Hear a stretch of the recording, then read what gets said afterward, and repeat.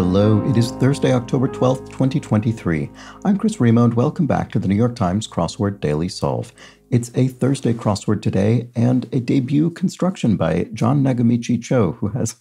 Uh, I found out some interesting things about this person just now when I was looking them up. And uh, I'll share that with you in a moment. But this is a Thursday crossword, so it will have some kind of interesting or intricate theme. And this interesting or intricate edition of the Daily Solve has been brought to us by Henrik Koskinen, David Innes, Josh Lucas, and as always, the invaluable, sorry, the indomitable Schulmaster, I should say, and the incredible Horan family. As thank you so much to the five of them, benefactors of the Daily Solve Patreon campaign. They are supporting this channel. I really do appreciate it. Thanks to them. Thank you to everybody who's a patron of the Daily Solve Patreon campaign. And if you'd like to become one of those and support this series, you can head over to patreon.com slash dailysolve or click the link in the description field. There you can find the bonus avail- uh, videos available to patrons and the uh, official mug for benefactors. So thank you again to all of those supporters. And uh, thanks if you've subscribed to the channel. That's a big help as well and uh, please consider doing so. And then there's also the Daily Solve Discord chat server that you can join. Um, there's a nice friendly chat community, and there's a link in the description field underneath the video to that as well. All right, so let's get on to the puzzle. This is, as I said, a debut construction by our constructor, John Nagamichi Cho. And the reason that uh, that I wanted to share a few details about this person, I often, especially with debut constructors, I often look them up online just out of curiosity to see what their what their history is. I usually don't say anything about it on the channel. I'm just sort of interested to know. And in this case, uh, so this person is, I think, principally a, a, professor at MIT, the Massachusetts Institute of Technology, and seems to have a, a, a, meteorology focus, as far as I can tell. But one of the things that came up was a New York Times article from 1998. Uh, and I, I, think the, the thing that was notable about a book that was published by John Nagamichi Cho was that it prompted a new uh, subject heading in the Library of Congress. The Library of Congress, um, you know, has a copy of every every book that, that's published in the United States, I believe, and uh, this book required a new heading: canned meat poetry, uh, under which this. This book released by our constructor today was, at least at the time, the sole entry. Uh, the book was entitled Spam-ku Tranquil Reflections on Luncheon Loaf, and contains 162 examples of spam related haiku drawn from uh, Mr. Cho's website that he launched in 1995 uh, called the Spam Haiku Archive, containing his own poetry as well as poetry submitted by other uh, visitors. So, just a bizarre, fascinating fact that I thought I would share with you. Um, from my, my brief online research into today's constructor. Anyway, here we are. Um, uh, well, that was 1998. So here we are, decades later, um, playing a crossword constructed by this same fellow. And I don't assume it will have any spam references in it, but who knows? Maybe it will. It'll have some kind of theme uh, and we'll have to find out what it is. So, in any case, this this is a debut construction by John Nagamichi Cho, edited as always by Will Shortz. It is a Thursday crossword, so it will have some kind of interesting or intricate theme. And let's start solving and see how we do with it. I'm curious to know what this person has in store. I mean, obviously, someone with a sort of tongue in cheek sense of humor. Uh, she be stingin athlete. I don't know what that is. I have no idea what that's referencing. Answer to the riddle I have one bow but no arrows. What am I? I don't know, a viola or something. I don't. I don't think it's that. It could be. It could be a ship. I guess one bow. Um, yeah. I, I mean, I yeah feel as though there are a few possibilities there. HS course for college credit or Kollega Kredit, maybe if this is Kollega Kredit, if this is German. Oh, right. Okay. So um, AP German, maybe advanced placement German, because you can get college credit for taking an advanced placement course in high school and then receiving a sufficiently high mark on the resultant advanced placement test. So I think that would be probably what this is. I mean, this this reads like German to me. So let's look at the down, see if that helps. Put down. Lay down, as in you lay something down on a table, you put it down. The down in parentheses means we'll apply it both to this clue but also to the answer. So put down, lay down. Mimic, to mimic somebody is to imitate them, to ape them. Tennis champion Swiatek, uh, I don't know, unsurprisingly. Gaston, who wrote The Phantom of the Opera. Oh, I'll, I'll recognize it when I see it, but I don't, I don't know. I can't remember offhand. That's annoying. Restaurant chain named after its founders, the Raffel Brothers. I do know this. I do know this. It's Arby's. Um, because I think it's RB for Raffel Brothers. I think. I'm fairly certain that's correct. Uh, yeah, I think that's what it is. It's a phonetic spelling of, it's a phonetic, phonetic representation of RB for Raffel Brothers. Famous cookie guy. So there's a brand of packaged cookies called Famous Amos. And so that would be who this is. I don't know if there was such a person in reality. Uh, Mekong Valley language would be Lao, um, straightforwardly enough. Key part of a cephalopod's defense mechanism. An ink sac, so a cephalopod like a squid might, you know, shoot ink at an enemy to sort of surprise and disorient it. Oh, Laila Ali? Right. Okay. So she bee sting. And is this a kind of is this a reference to float like a butterfly, sting like a bee? Uh, you know, famously associated with Muhammad Ali, and then here his his daughter. There must be. I, I don't know what this is specifically referencing, but I assume it is in some way related to that concept. Um, let's just look at the downs here. Oh, right. Ega, maybe? Oh, this looks like a yearbook. Scholar's Mug Collection. Right. Okay. So, scholar, uh, in this case, a high school student, presumably, and then a mug collection referring to a collection of photographs of faces, mug shots, essentially. So, a mug being a you know term for the face. So, uh, that's what's going on here. A yearbook would contain photographs of of all of the students in uh, a given year of high school. Okay, Gaston, who wrote Phantom of the, oh, is it Leroux? I can't. I honestly can't remember. Let's see. What about this? Groans equivalent to eye rolls. Oys? Oi. That's oof. That was might might be. Grade just above average. A C plus. I think if a C is average, then a C plus would be just above. It does look like Leroux, doesn't it? Um, X and Y. X and Y. Not sure what that is. Dosed oneself. If one dosed oneself, one. Um, I'm not sure, sorry. Sort of doped or something? I don't know. Like the clean, cleanup crew at closing time, typically late shifters or something, late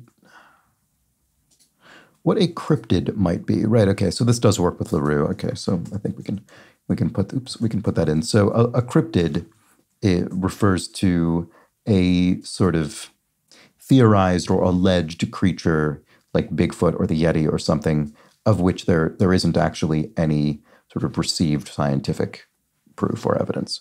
Um, and it could well be it could it could be a sort of dis, you know, diffuse urban legend, but it could also be an intentional hoax. Okay, X and Y. Yeah, still don't. Oh, chi, but I don't see what that would. How that how that would apply to X and Y. I don't, yeah, I don't really know. Sorry. Dosed oneself. Pot. I, yeah, I don't know what's going on there. This might be related to the theme. I don't know.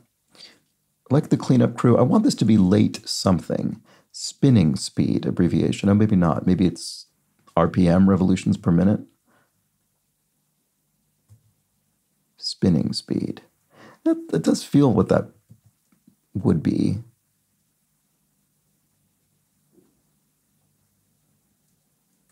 I, I don't know.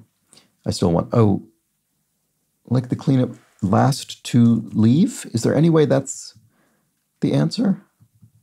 This couldn't be RPM if that were true. I guess it could be RPS, revolutions per second. I don't, I'm less familiar with that as a measurement. I mean, there's no reason it wouldn't, it would be any less plausible. I just, you just don't hear it as often, I don't think. Um, let's look at the crosses. I'm, this is a bit of a, of a stab in the dark. So let's see. Choose. Uh, one favoring imitation over innovation.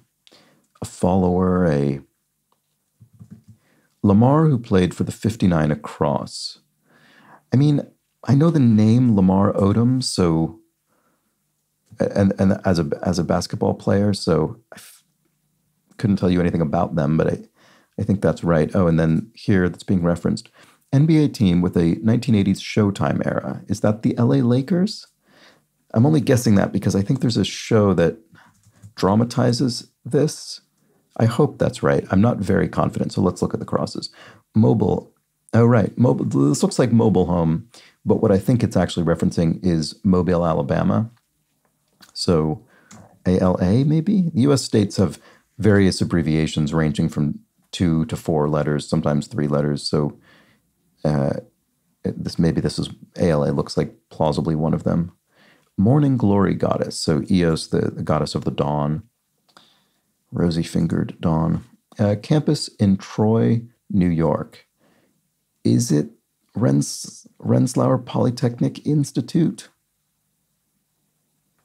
There are a few universities with kind of similar acronyms and vaguely similar names to one another in Northeast United States. I never quite remember where they all are, but but this is one of them. And I'm just guessing it because it's three letters and starts with R. I think that's I think that's right. Or at least plausible. Oh, right. 27 or 55 down backward. Or 55 down. That's interesting. Does that mean 27 and 55 are going to be the same? Surely not. This must mean something that I don't quite understand just yet. Oh, and that's just a dash. Right. Okay. So this will be thematic, and then so will this. Oh, no, this one isn't. A ninny. An ass, maybe? Well, LA Lakers looks reasonable, so let's let's go back to where we actually were. Oh, and this is a dash as well, and so is this. Okay, so that that'll be related to the theme. Maybe that's why I can't answer these.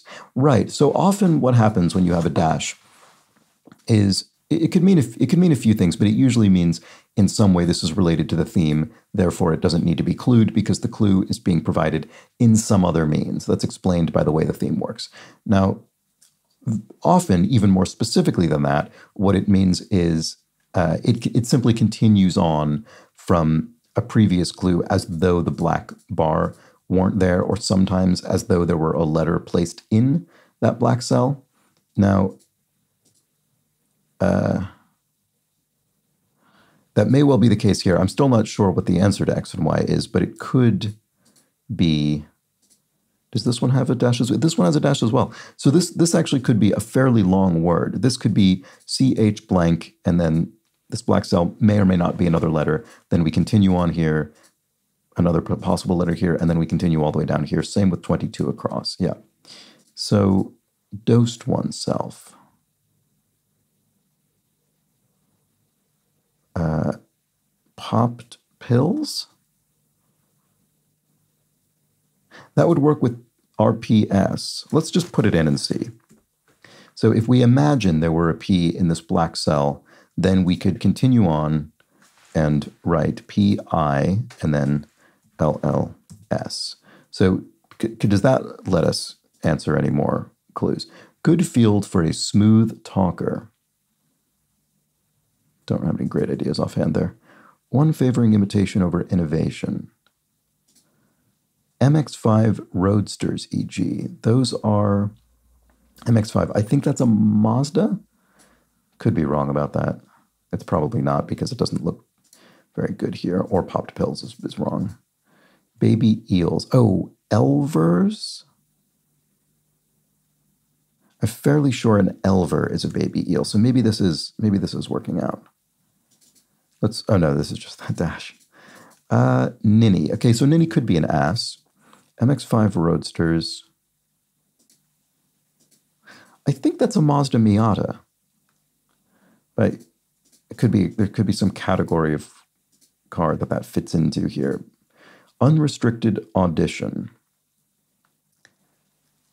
Um, open something, a something call, unrestricted audition. I don't, I don't know. Leaves damaged. It could be referring to leaves of a tree in some kind of punny way. Leaves damaged. If it's a, it probably ends with an S either way, actually, whether it's a verb or a noun. Navigates a slippery slope in a way. Uh, I'm not quite seeing it.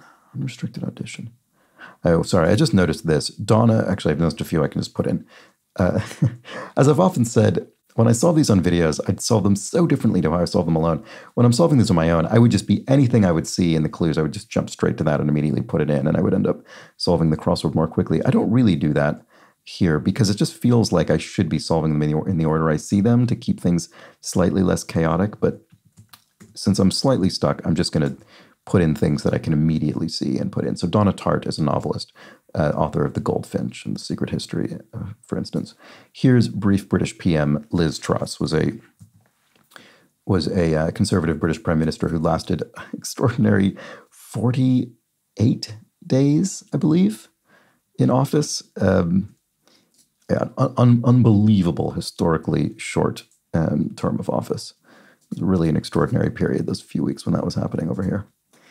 Uh, candy dispensed with a nod of the head is Pez, uh, famously dispensed from those little sort of plastic uh, dispensers that look with heads that look like particular characters.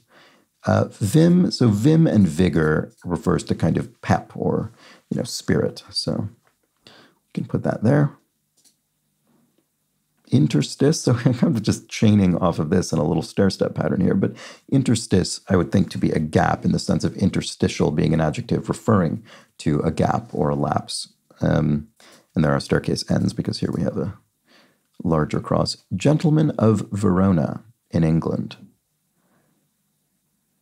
Is this referring to Shakespeare? Not quite sure what we're being asked to, to do here. Yeah, I'm not quite sure what the clue is asking for. Let's see, has, has any of this given me anything? Uh, just blank with it. Just roll with it, maybe? Roll with the punches. Floored. Um, probably ends with D. Begat. Sired, as in begat a child, sired a child. Convertible. Um, not quite sure. Let's see. Gentleman of Verona. Yeah, still not quite sure what, what that's asking for. One's doing some heavy lifting before retirement. Some heavy lifting before retirement is something to do with with sort of weightlifting or something or construction before retirement. Not quite sure what that what we're looking for there. Retail apparel giant. I mean, there are probably quite a few possibilities here. Pans that sound like strolls. What on earth? That sound like strolls. What, what does it mean to sound like a stroll? Probably ends with an S, though. Sugar apple by another name. Blank Schwarz. Okay, well, here's a famous toy store in New York City, FAO Schwarz. Um, I think, I think, um, I mean, I think it's been a number of films. I think maybe uh, Home Alone Two, and maybe that Tom Hanks movie Big. Might, that might have been an FAO Schwarz. I can't can't remember. It is a very famous New York toy store. Uh, so pans could be woks. It's a type of pan that you might you know cookware seems like it might fit. Let's just put it in and see if it helps. Sugar apple by another name. I do not, I just don't, I just don't know that. Modern love. Modern love. Bay, maybe? If you refer to your love as an as, as a person, maybe. And I'm just I'm trying to think of something that would be specifically modern. So bay, bay being a fairly modern term of endearment to describe someone you love. Let's see. New York County that's home to Binghamton. I don't I don't know that. Run to. add up to, that doesn't, have enough letters. Um, sugar apple by another name. Sweetie? Is that another term of endearment? I don't think so. And that would be spelled I-E, not Y at the end anyway. Answer to the, right, okay, I don't know what that is. CAPTCHA test affirmative. Does this have dashes? It does. Okay. So something like I am not a robot or something, or I am a robot. I I am an O T A. Oh no, no, I'm not a robot. Doesn't fit. I don't like putting not in an affirmative anyway. But usually that's what we're being asked to affirm when we complete a CAPTCHA test online is I'm not a robot. Could be actually I guess it could be I'm not a robot. Let's just see. I'm N. I mean it'll fit obviously letter wise, but see if we can get any of the um, crosses to work out. Succession. Oh, that's that was an HBO program. A great great show. Um, is it me or is it hot in here? There we go. Oh, and here's here's the end of another thematic uh, answer. So, document that may contain a microchip number and a veterinarian's signature. A pet passport, I suppose, or a dog passport, or a cat passport. I guess I don't really know how to distinguish between those without any crosses, but passport seems very likely because passports tend to have biometric information on a microchip. So P E T P A S S P O R T. Um, I'm as ready as I'll ever be. That looks reasonably likely. Angle symbol in trigonometry, theta. Oh, is it theta or delta? I think it's theta. Delta is what? Change in mathematics? Let's look at this. 15th century headgear for a knight. Not sure offhand. For a knight. I don't know. Some kind of helmet, I presume. Common aloe descriptor. the official medicinal plant of the New York Times crossword. That's my common descriptor for aloe, but it's obviously not what we're looking for here. Sorority chaperone, some sort of mother. House mother? So, of a sorority house in a, in a university, on a university campus, maybe. Oh, this looks like seniors. Why is that in England? I mean, it isn't being. What you know? What is going on with this clue? I'm sure it makes perfect sense. I'm just not quite, not quite getting it. I'm sorry about that. Convertible. A raft? No, that doesn't really fit the down anyway. Common aloe descriptor. Something. Uh, something's not right. Yeah, I'm not something I'm not seeing. Okay. Oh, maybe this is a, sh- a ship. Answer to the riddle I have one bow, but no arrows. What am I? A ship. I'm not usually crazy about putting an article in here, a ship, but I think I'm sort of okay with it here because it's specifically saying the answer to the riddle. And often when you answer this kind of riddle, you would say a ship. You wouldn't just say the word ship. That would be a bit odd and awkward. So because it's being phrased specifically as an answer to this riddle, I'm okay with there being this indefinite article of a before ship. Okay, common aloe descriptor. Document. Oh, right, right. So this is pet passport because we have a P there now. Run to. Okay, okay. I was basically on the right track. So something runs to this, it amounts to this. So I said add up to, same idea. But yeah, the bill runs to, the bill amounts to. Common aloe descriptor, soothing. Oh, right, okay, yes. Aloe is often described as soothing. So this looks wrong. Oh, it's ragtop. No, it is correct because our op right okay so our our sort of secret letters in these black cells they don't just apply to the downs they apply to the acrosses as well and sometimes that's how it goes sometimes it isn't and in this case that is how it goes so we have i'm not a robot down pet passport down across ragtop and then here, oh, it's also OP. It's the, it's the same two letters. So a sugar apple is a sweet sop, I suppose. I don't know that, that bit of vocabulary, but it, it must be right, surely. So an, an armet, 15th century headgear for a knight. I mean, I don't know this off, you know, off the top of my head, but it sounds like a plausible name for a knight's headgear to me. Um, it's tough because it's crossing a New York county that I don't know, but Broome sounds like a plausible name for a place. So, uh, in fact, I think I've encountered other places named Broome, but I don't know this New York county. But there we go. I think that's right. It might be a lot. This looks like, no, it's not market. Pre euro currency of Finland. Ooh. I wanted to involve mark in general because that's such a common element of currency names, but not. Oh, yeah, it, it may because it's called in here in brackets. The brackets often indicates a kind of uh, sort of exclamation, but something that's non-verbal. It's not words. It's just sort of a sound you might make. So burr, for instance. Um, I don't know what the rest of this word is though. It might be a lot, a tract of land, a lot of land. Panama's Gulf of San. Ooh, I don't actually know this offhand. That's annoying. Covert mission. All right, here we go. Covert missions, or what's covert in eight of this puzzle's answers. Very good. They are black ops. And of course, we have ops, OPs, in several pairs of black cells in this puzzle. I suppose in uh, in four pairs. Well, no, not well. Yes, in, in four pairs of cells. So one, two, three, and four, and uh, that relates to eight of the answers in the grid. Uh, four downs and four acrosses. So anyway, over here, are, now that we, oops, not over here, over here, we know that we these are now all OPs. So choose is to opt for something. There we go. That that's why that didn't make sense. And similarly down here, yes, okay, an unrestricted audition is an open call. So once again, that's why this this didn't make sense to me, and I couldn't think of what it was, even though I wanted it to have open in it, and it does. So here we have CHO, so X and Y. Um, probably, well, it's going to say ends with an S, but that doesn't look very good over here, does it?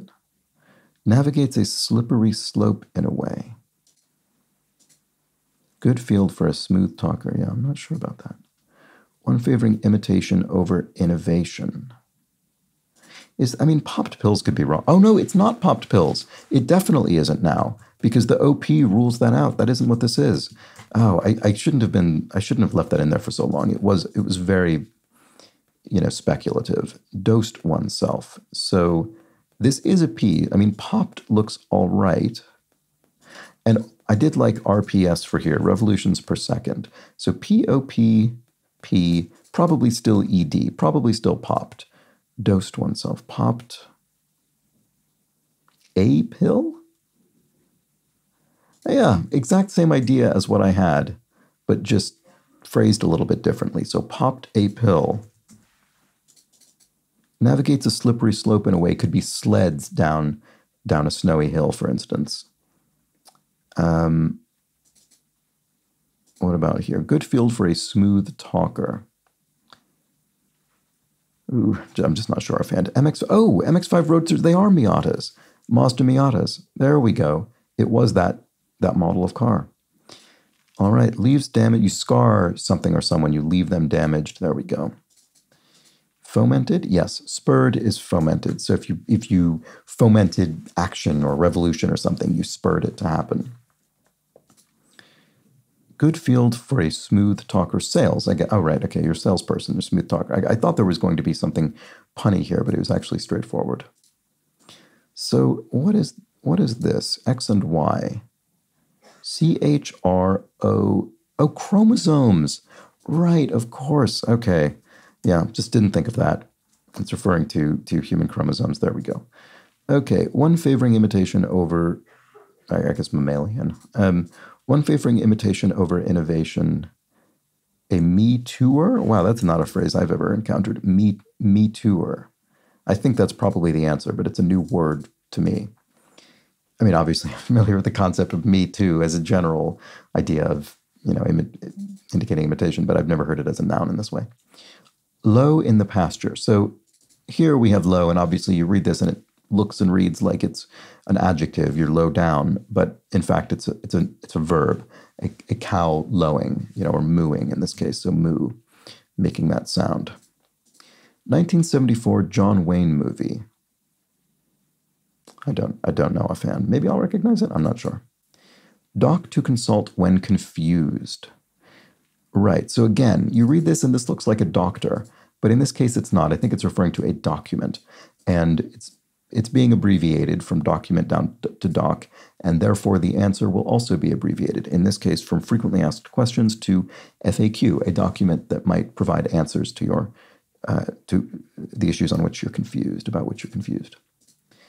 So one's doing some heavy lifting before retirement. So jacks, as in you might lift a car with a jack in order to replace its tire, perhaps, and then and then retire it, remove remove the jack once its lifting has been done. Well, and and hopefully once the car's been lowered again.